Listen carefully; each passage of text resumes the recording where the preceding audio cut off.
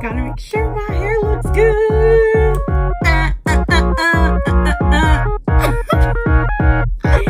I just love a good swoop, guys. I love a good swoop. Oh my gosh. Hello, guys. Hello to all my new subscribers. Wow. I have not uploaded in maybe about like five days. Uh, life has been hectic. It just has been, but all good things. Um, hello, 22,000 of you. Hi, my name is Asha. Very nice to meet you. Welcome to the A-team. I cannot believe that I have this many subscribers. I cannot believe it. I can't articulate how I feel. I feel like every time I upload a video, I'm hitting some sort of major milestone. And this channel so far has been beyond my expectations. And I feel like God has really been showing me that he is really blessing me above all of my expectations. He's exceeding all of my expectations and he's really doing things, you know, abundantly. And I'm so grateful for that. And I'm so thankful for that. And for you guys, I just want to say thank you for all of your messages and all of your continuous support. It means so much to me that when I log on to my channel and I see that you guys have nothing but positive things to say, it really does uplift my day. So before we get into this video, I want you to, of course, if you don't know, now you know, follow me on Instagram and that will be right here, of course. And also do not forget to subscribe to this channel. If you have not already, we are 22,000 subscribers deep at this very current moment.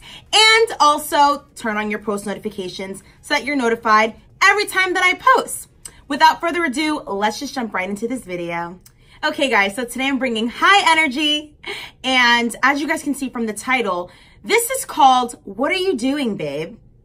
This video topic actually has been on my heart. And believe it or not, when I do post a video and I'm drafting a video treatment for a video, I really do, you know, ask God, okay, what should I post to help someone? I want to post something that somebody needs to hear. And that's what also helps me and encourages me and allows me to keep going with you know, posting videos because I just really want to be able to be like a big sister to you guys or be the best friend, whatever it may be, and encourage you guys. What are you doing, babe? As we know, Valentine's Day had uh, recently passed and it's just, you know, of course, we're women. We want love, you know, we want that fairy tale. But I noticed that in the whole culture of Valentine's Day, sometimes a lot of us feel pressure to post certain things or put up with certain things until that date because we want to look good on Valentine's Day. And on Valentine's Day specifically, I felt like I felt so blessed abundantly because I have all of you guys on my channel and I am currently single at the moment and I am in love with being single and I'm in love with having my freedom to do whatever it is that I want to do. And with all the knowledge that I have now, it's so amazing to date from this perspective and to see how I enter into the dating world knowing all of the things that I know. And I just couldn't help but notice, you know, certain things that people would be posting, you know, and when you're posting something, it's amazing that people that may not know you will look at a post and they'll see this grand gesture or not of, you know, flowers and the card and things of that nature. But what did you sacrifice or did you have to sacrifice to get to that point per se? And this is not for people that are in, you know, exclusive relationships and you guys have that commitment. I'm talking about the girls that don't and you struggle with, you know, staying with this person because you just want it to look a certain way on social media. What are you doing, babe? Is it worth your youth? Is it worth keeping up this facade when you know that that's not the case? The gift he gave you wasn't even that great. It wasn't. You paid for dinner or he took you to a really cheap place whatever it is, what are you doing? First things first, this is like, this video is simply just a rant video because it's something that, as I said in the beginning, has been on my heart. Stop offering to pay for things for these men that are not doing anything for you. Why are you buying their affection? And I think that some people, this is tough for them to hear. It's a hard pill to swallow. And they tell themselves, well, I don't need anyone to pay for me because I'm an independent woman and I don't need a man. Okay, fair enough. I consider myself to be independent as well. I wouldn't I wouldn't say that I need a man. I do desire to be in a healthy relationship. I desire to get married and have kids and the whole thing. I think that that's important to recognize. We abuse the saying of, I don't need a man, and it comes across as differently than we intended it to be. We're not talking about being codependent on a man. We're talking about the fact that if you're moving with all of this masculine energy. You're leading with this masculine energy of you don't need this person, you don't need that person. But a lot of the times, of course, not all the time, a lot of the times, these same women that declare the, this independence, they are behind the scenes, Bob the Building men. You know, they're buying men's affection because they feel like, well, I'm going to do it because I don't really need anybody to do it for me. And I want to show him that I'm a boss and that I'm this. You're very capable of showing that you're a boss showing that you have a lot going for yourself without buying someone's affection. You know, it's just really sad to me. You know, it really stuck out to me, especially on Valentine's Day. I would see certain posts and I know certain situations, and I'm just thinking to myself, this really isn't what it seems. What are you doing?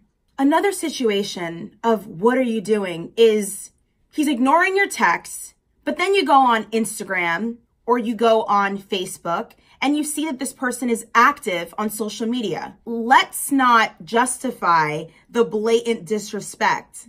Actions speak louder than words. If he is literally ignoring your text message and you see him active on his social media and it bothers you, because I know it does, it should bother anyone, that's a clear indication that he doesn't care any person, any man that really does value you and like you as much as they say that they do would not make a move like that. And I'm sure plenty of us have experienced situations where we've seen things like that, you know?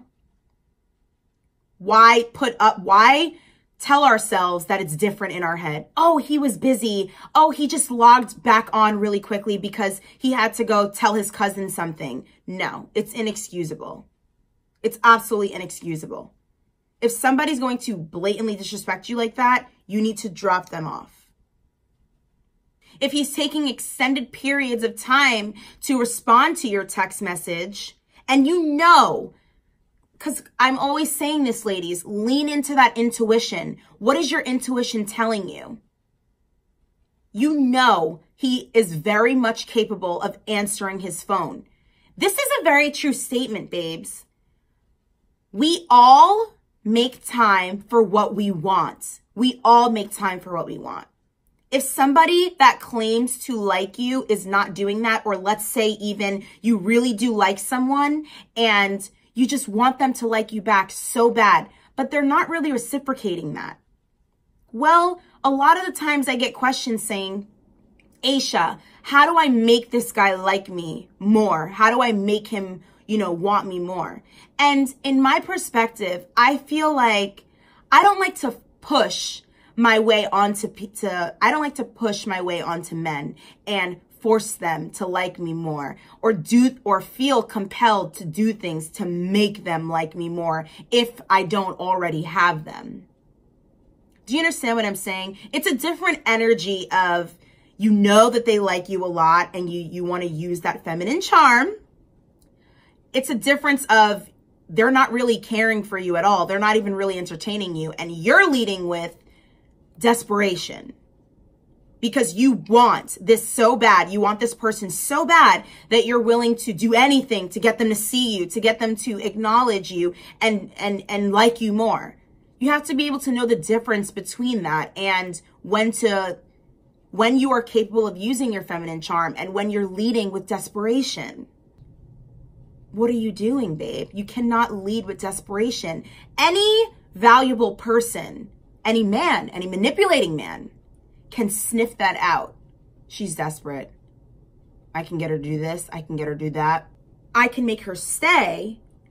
And I know that she'll forgive me if I do this, if I do that, because she wants me so bad. You don't want to lead with that energy because you will get manipulated. And a lot of the times, yes, we've all been through really sucky situations, but there comes a point in life where we have to take responsibility for our part in certain relationships or in relationships, period. Yes, I myself have been in situations where, you know, things didn't turn out the way that I wanted it to or anticipated. They were all lessons learned. But now that I know better, I do better. I move better. I move wiser. I move smarter.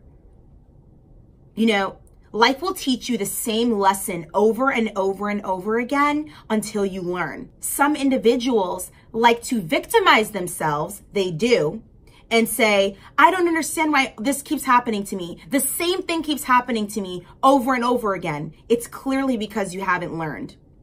That's it. And accept your responsibility in that. Oh, oh my gosh, I slept with this guy so soon.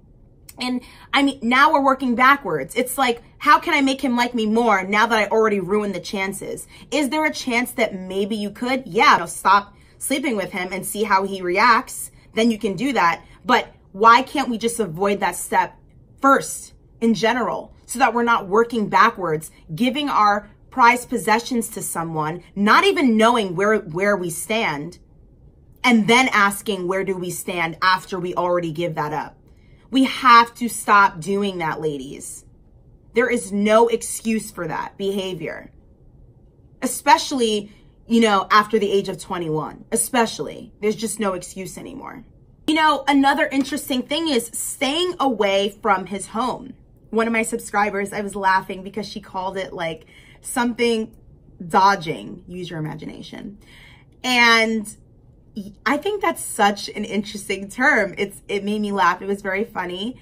It's true. Staying away from his home, especially prematurely. I don't think it's wise to put yourself in the red zone of having to go over his house and having to risk things getting steamy in his territory and then you having to reel yourself out of it. You're still capable of using that feminine charm, like in my last video, with this given scenarios that I provided and making him want to be with you without being in his territory, in his home, and then having to wiggle your way out of it where you have no control.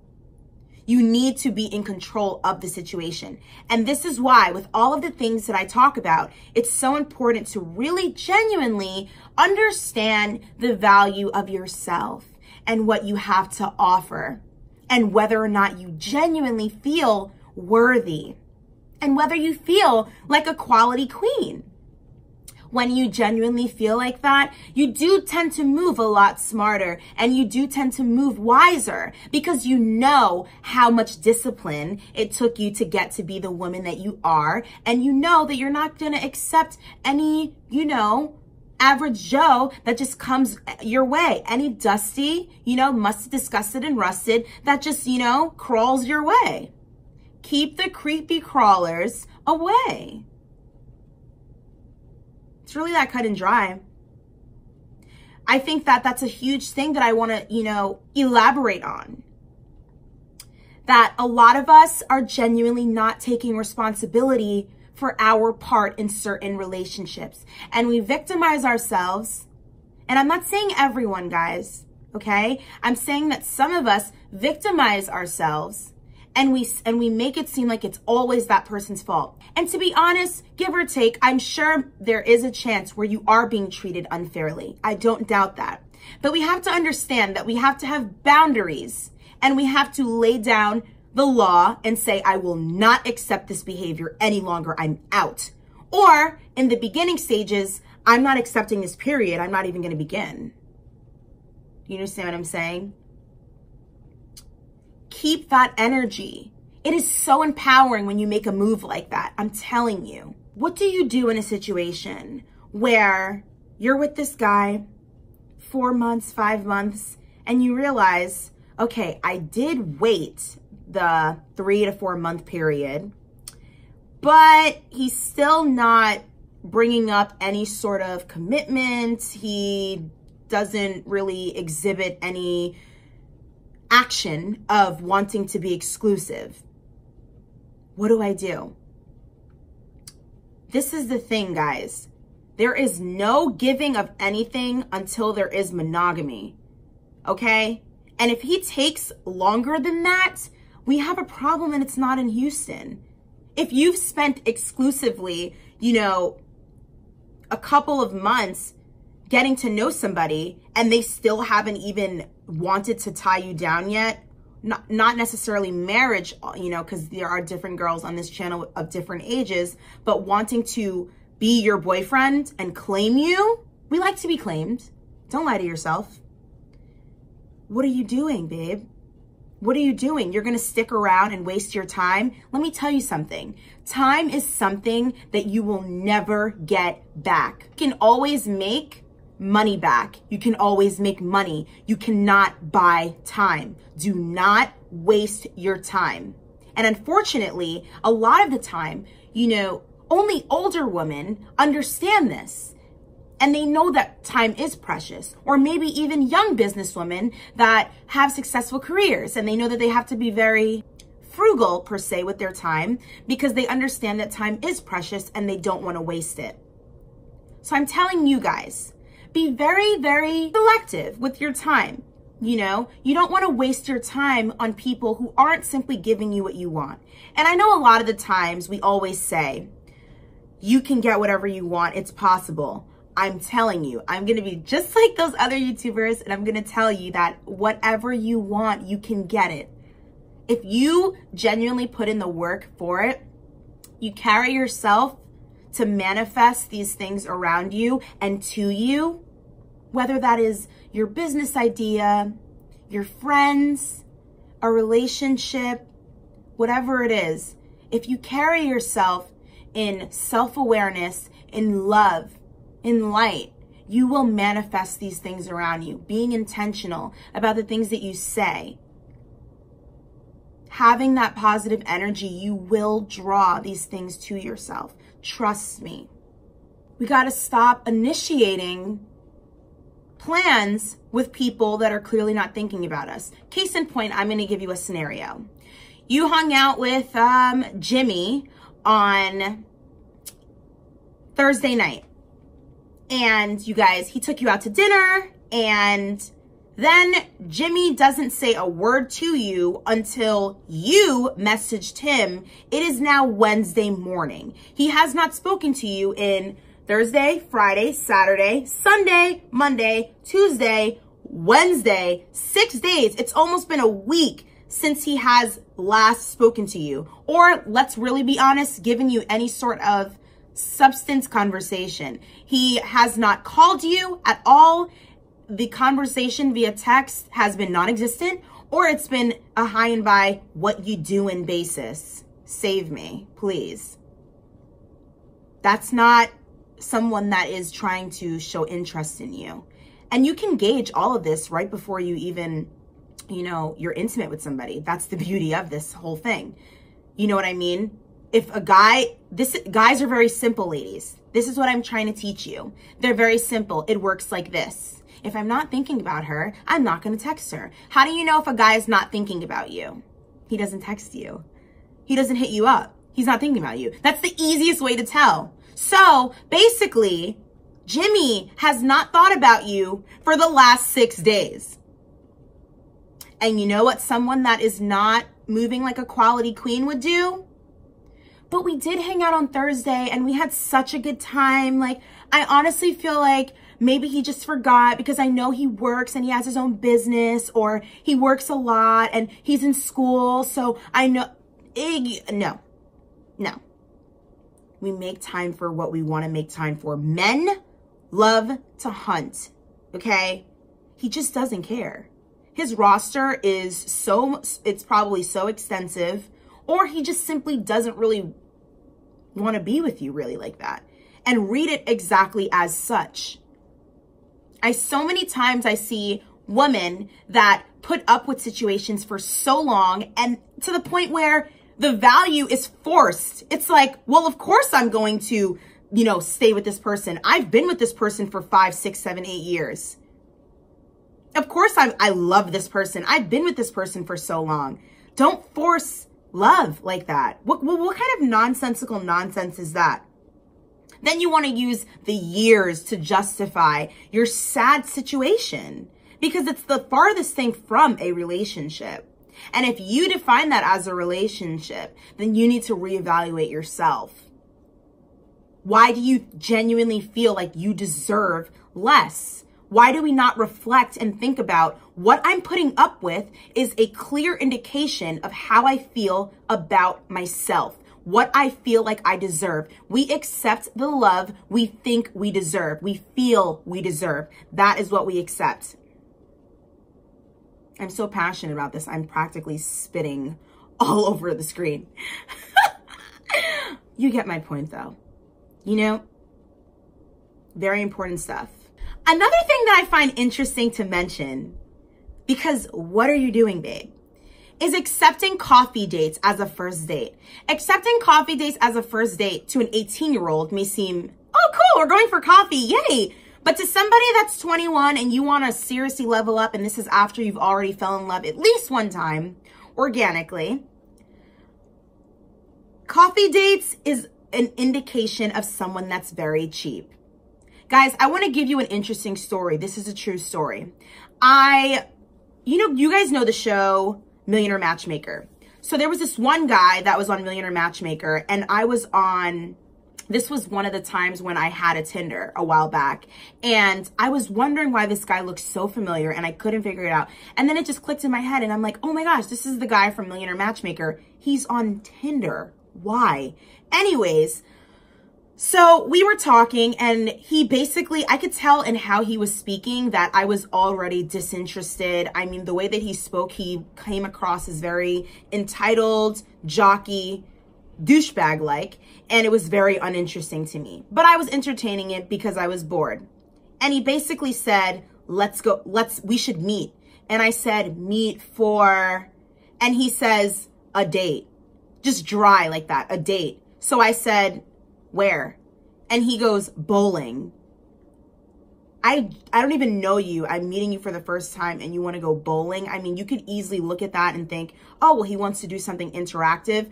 For me, I prefer something more formal where I'm actually talking to you, getting to know you. I also don't accept movie dates as a first date either because why would I choose to sit in silence in the dark with someone that I barely know for two hours?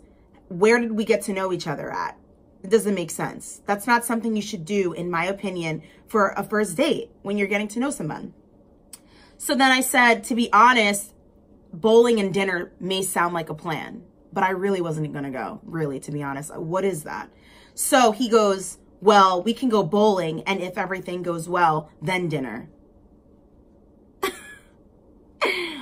I don't know who he thought he was talking to, but it wasn't me. Unmatch.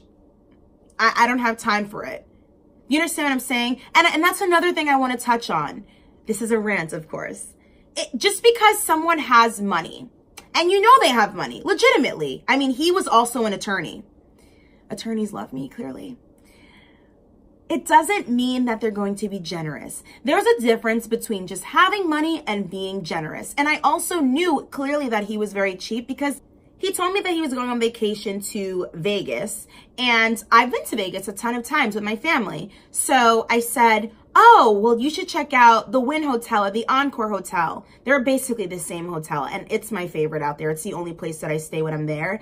And he said, oh, I usually stay in the middle of the strip or like around the strip. And I'm like, you're a millionaire and you're staying where? So I said, oh, okay. And he goes, yeah, I don't see why I would spend $300 a night on a hotel when I get tons of other like hotel rooms comped for me. And I'm like, okay, cheapo. I literally said to him, no offense, you sound extremely cheap, like unmatched, like best of luck to you. I, I just don't have the time he doesn't even want to spend money on himself. He's definitely not going to spend money with me. Also, he's someone that clearly has investment issues. He doesn't like to commit at all. He's a commitment phobe. He wants to put a down payment on me, which was AKA the bowling. And then if things go great, if I'm so lucky, he'll do me the honor of taking me out to dinner. And God knows where that dinner might even be. I mean, for Christ's sake, it could be Red Lobster or Katz's Deli.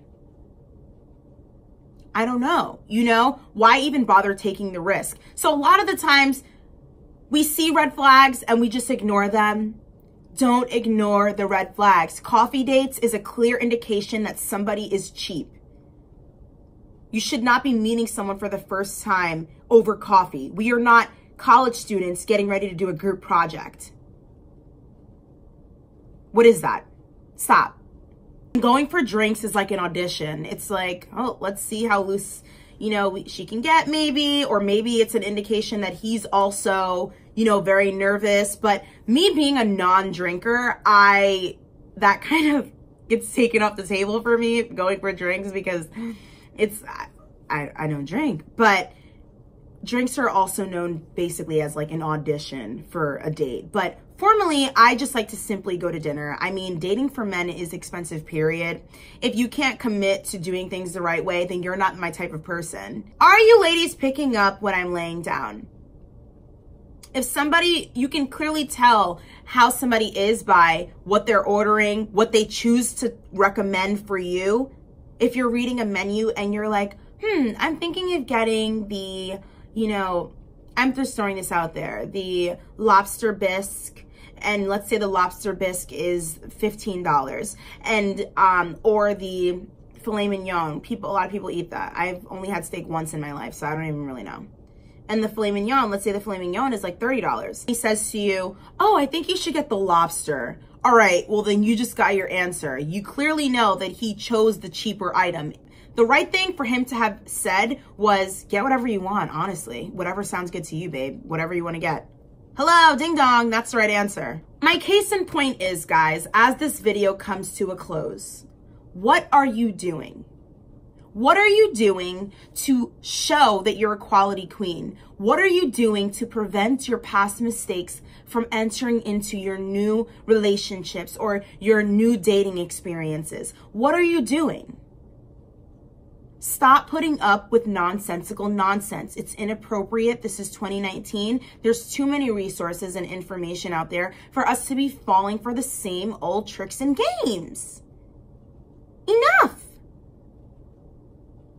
And I know it's coming across like I'm being so reprimanding, but it's just my genuine passion. And I genuinely don't want you ladies to fall for the same old, you know, bag of tricks over and over again. I want you guys to be happy and be the best version of yourselves and to fall in love if that's something that you desire and get married if that's something that you desire. I just all, I want us all to be able to grow together and inspire one another and uplift one another. That's genuinely what I want from the bottom of my heart. And a lot of the times I do see comments and people are like, oh, oh my gosh, I just feel like I got spanked or something. And I'm just like, do I really come across as that mean? I promise, I'm really not. It's just my passion and the points that I have and I just am like, no, I don't want you to, I don't want you to fall for these same old type of, you know, misleading mistakes. And I want you ladies to learn. But just know that I genuinely am here for all of you. I genuinely do care from the bottom of my heart. And I genuinely do appreciate all of you lovely ladies' support. And guys, because I know I do have a couple of guy subscribers. and with that being said, this is the end of the video, guys. Thank you so much for all of your continuous support. Thank you so much for 22,000 subscribers, guys. My birthday is actually April 21st. So for all the people that keep asking me, I am an Aries and a Taurus, I believe. And it would be amazing if I could hit even if I could hit anywhere from 50 to 75K by my birthday, I would be, again, speechless like I am right now. I would just be floored. Absolutely. I just hope that you guys had an amazing day. I hope that this video finds you well. I know that it is a little bit different maybe in the style. It's not a focused topic that much other than the actual title, but I just really felt this on my heart and I really wanted to get this across to you ladies. So hopefully you guys all receive this in love and I love you guys so, so much. God loves you. Of course, I love you. And I'll see you guys in my next video. Mwah.